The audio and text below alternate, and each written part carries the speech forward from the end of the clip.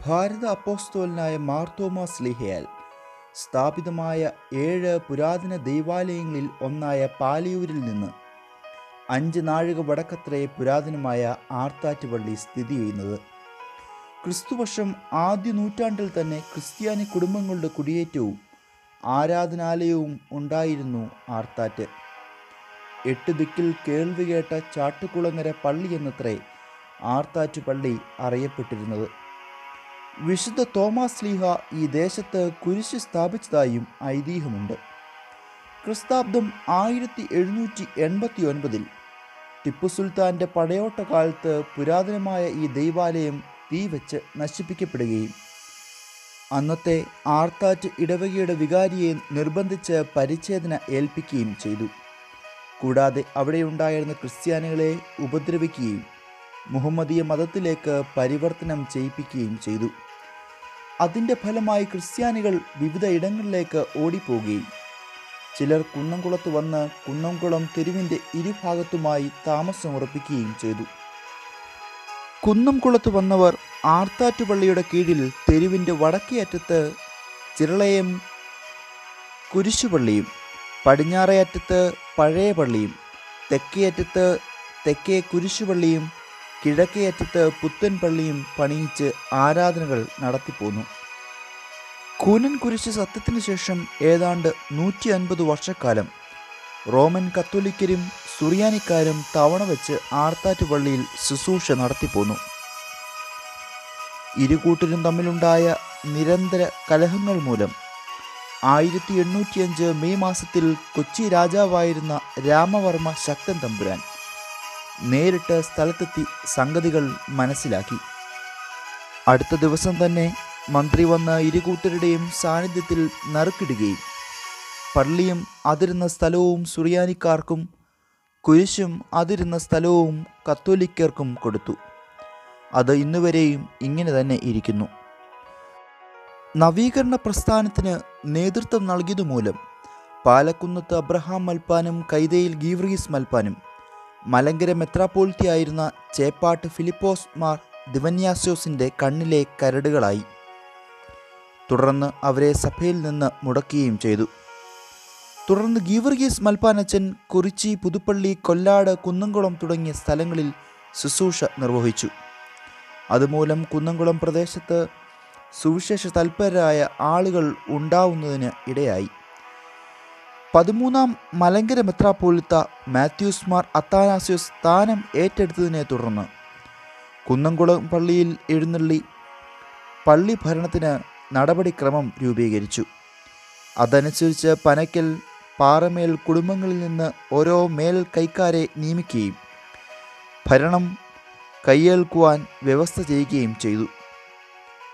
നവീകരണം മലങ്കര സഭയിൽ വേരൂന്നിയപ്പോൾ ആർത്താറ്റ് ഇടവകയിലും അതിന്റെ അലയടികൾ ഉടലെടുത്തു. ആയിരത്തി എണ്ണൂറ്റി എൺപത്തിയെട്ട് സെപ്റ്റംബർ മാസം മൂന്നാം തീയതി തലപ്പള്ളി സെക്കൻഡ് ക്ലാസ് മജിസ്ട്രേറ്റ് കോടതി വിധി മൂലം ഒന്നിടവിട്ട ആഴ്ചകളിൽ തവണ വെച്ച് പള്ളിയിൽ കർമ്മം നടത്തുന്നതിന് ഇരു കൂട്ടർക്കും അവകാശം ലഭിച്ചു. കുത്തൂർ പാറമേൽ യു ഇട്ടൂപ്പ് അവറുകൾ കുത്തൂർ പാറമേൽ ചുമ്മാർ ചാക്കുണ്ണി അവറുകൾ എന്നിവരാണ്. കുന്നംകുളത്ത് തിരുവ ആരംഭിച്ചത്. മലങ്കര മാർത്തോമാ സുറിയാനി സഭയ്ക്ക് മേലധ്യക്ഷന്മാർ ഇല്ലാതെ വന്നപ്പോൾ പാറമേൽ യു ഇട്ടൂബ് പാറമേൽ ചാക്കുണ്ണി എന്നിവർ സ്വന്തം ജീവനെ പണയപ്പെടുത്തിക്കൊണ്ട് തൊഴിയൂർ മെത്രാപ്പോൽത്തുമാരെ പരിവാരസമേതം കോട്ടയം ചെറിയപള്ളിയിൽ എത്തിച്ച് ഭാഗ്യസ്മരണിനായ തീത്തൂസ് പ്രഥമൻ മാർത്തോമാ മെത്രാപ്പോൽത്തെ അഭിഷേകം ചെയ്യിച്ച് സഭയുടെ അപ്പോസ്തോലിക കൈവപ്പും പിന്തുടർച്ചയും നിലനിർത്താൻ സഹായിച്ചത് ഏറെ സ്മരണീയമാണ്. അവർക്ക് ശക്തിയായ പിന്തുണ നൽകിക്കൊണ്ട് പഴഞ്ഞി പുലിക്കോട്ടിൽ അബ്രഹാം സ്കറിയ കത്തനാർ ചീരൻ കുഞ്ഞിക്കാക്കു യാക്കോബ് കത്തനാർ പുലിക്കോട്ടിൽ ചെറു ഷീമോൻ കത്തനാർ ചെങ്ങന്നൂർ കൊട്ടാരത്തിൽ വർക്കി തോമ കത്തനാർ എന്നീ വൈദികരും ഉണ്ടായിരുന്നു. പട്ടക്കാരുടെ സേവനം ആവശ്യമായി വന്നപ്പോൾ മലബാർ സ്വതന്ത്ര സുറിയാനി സഭയിലെ പട്ടക്കാരും വന്ന് കുർബാന നടത്തി സഹായിച്ചിട്ടുണ്ട്. കുത്തൂർ പാറമേൽ ശ്രീ ഇയു ഇട്ടൂപ്പ് തന്റെ വക വസ്തുവിൽ സ്വന്തം ചിലവിൽ ഒരു പള്ളിയും സെമിത്തേരിയും പണി കഴിപ്പിച്ചു. ക്രിസ്താബ്ദം ആയിരത്തി എണ്ണൂറ്റി എൺപത്തിയെട്ട് ഏപ്രിൽ മാസം ഏഴാം തീയതി പാലക്കുന്നത്ത് തോമസ് മാർ അത്താനാസ്യൂസ് മെത്രാപ്പൊലിത്തയുടെയും തൊഴിയൂർ മാളിയേക്കൽ യൗസേഫ് മാർ അത്താനാസ്യൂസ് മെത്രാപ്പൊലിത്തയുടെയും സഹകരണത്തിൽ ക്രിസ്തോസ് എന്ന പേരിട്ട് പ്രസ്തുത പള്ളി കുദാശ നിർവഹിച്ചു. അതിനുശേഷം നവീകരണ പക്ഷക്കാർ ഈ പള്ളിയിലാണ് ആരാധന നടത്തി വന്നത്. മലങ്കരയിൽ മാർത്തോമക്കാർ പണി കഴിപ്പിച്ച ആദ്യത്തെ പള്ളിയാണ് കണ്ടനാത്തു പള്ളി എന്നറിയപ്പെടുന്ന ക്രിസ്തോസ് പള്ളി. ഭാഗ്യസ്മരണീനായ യൂഹാനോൻ മാർത്തോമ മെത്രാപ്പൊലിത്ത കണ്ടനാത്ത് പള്ളിക്ക് സമീപം ആയിരത്തി തൊള്ളായിരത്തി എഴുപതിൽ കുന്നംകുളം മാർത്തോമ സെന്ററിന് കല്ലിട്ടു. ആയിരത്തി തൊള്ളായിരത്തി തൊണ്ണൂറ്റിനാലിൽ കോഴിക്കോട് സെന്റർ ആകുന്നതുവരെ ഈ സ്ഥലം കുന്നംകുളം ഭദ്രാസന കേന്ദ്രവും തിരുമേനിമാരുടെ ആസ്ഥാനവുമായിരുന്നു. ആയിരത്തി എണ്ണൂറ്റി തൊണ്ണൂറ്റി മൂന്നിൽ പ്രസിദ്ധമായ ആർത്താറ്റ് പള്ളി കേസ് ആരംഭിച്ചു. നവീകരണ പക്ഷക്കാരെ പ്രതികളാക്കി എതിർഭാഗം കേസ് ഫയൽ ചെയ്തു. തൃശൂർ ജില്ലാ കോടതിയും ചീഫ് കോടതിയും നവീകരണ കക്ഷിക്ക് അനുകൂലമായി വിധിച്ചെങ്കിലും ആയിരത്തി തൊള്ളായിരത്തി അഞ്ച് ഓഗസ്റ്റ് പതിനഞ്ചിലെ കൊച്ചി റോയൽ കോടതി വിധി പ്രതികൂലമാവുകയും കക്ഷിക്കാർക്ക് മാതൃ ദൈവാലയത്തിൽ നിന്ന് അവകാശം നഷ്ടമാവുകയും ചെയ്തു. കുന്നംകുളത്ത് മാർത്തോമാ സഭ വിശ്വാസത്തിൽ ആ കാലത്ത് ഏകദേശം ഇരുപത്തഞ്ച് ഭവനക്കാർ മാത്രമായിരുന്നു ഉണ്ടായിരുന്നത്. അവരുടെ നെടുന്തൂണായിരുന്നത് പാറമേൽ ശ്രീ ചുമ്മാര് ചാക്കുണ്ണി അവറുകളും.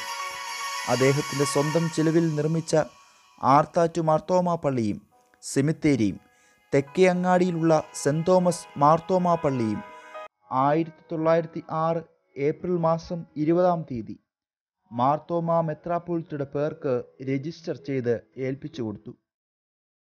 കുന്നംകുളത്തുള്ള സാധുക്കളെ പാർപ്പിച്ച് സംരക്ഷണം ചെയ്യുവാൻ വേണ്ടി പണി കഴിപ്പിച്ച ചാക്കുണ്ണി പൂർ ഹൗസ് ശ്രീ ചുമ്മാർ ചാക്കുണ്ണിയുടെ മറ്റൊരു സംരംഭമായിരുന്നു. ഇന്ന് ആർത്താറ്റ് കുന്നംകുളം മാർത്തോമ ഇടവകയിൽ ഇരുന്നൂറ്റി അൻപതിൽ പരം കുടുംബങ്ങളും ആയിരത്തി ഇരുന്നൂറിൽ പരം അംഗങ്ങളും ഉണ്ട്.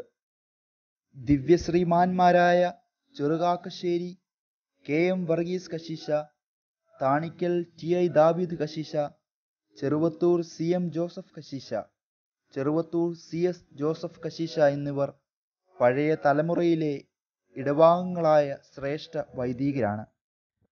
നിതാന്ത്യ വന്യ ദിവ്യശ്രീ ഡോക്ടർ യുയാക്കിമാർ കുർലോസ് എപ്പിസ്കോപ്പ ഇടവകയുടെ അന്തസ്സും അഭിമാനവുമാണ്. ദിവ്യശ്രീ സാജു സി പാപ്പച്ചൻ കശീശ ഇടവകയുടെ വാത്സല്യപുത്രനാണ്. ക്രിസ്തീയ ഗാന രചയിതാവായിരുന്ന മൺമറഞ്ഞ ശ്രീ പി വി തൊമ്മി ഉപദേശി ഇടവകയുടെ അമൂല്യ നിധിയായിരുന്നു. കൂടാതെ സുവിശേഷ പ്രസംഗനായിരുന്ന ശ്രീ പി പി ജോബ് മലയാള ഭാഷയ്ക്ക് തനതായ സംഭാവനകൾ നൽകിയ പ്രശസ്ത സാഹിത്യകാരൻ അഡ്വക്കേറ്റ് ഐപ്പ് പാറമേൽ എന്നിവർ ഇടവകയുടെ അഭിമാനങ്ങളാണ്. നവീകരണക്കാർക്ക് പതിത്വം കൽപ്പിച്ചിരുന്ന കാലത്ത് ആർത്താറ്റ് കുന്നംകുളം ദേശത്ത് പിതാമഹന്മാർ കാണിച്ച വിശ്വാസ തീഷ്ണതയും സഭാസ്നേഹവും വരും തലമുറയ്ക്ക് എന്നും മാതൃകയാണ്.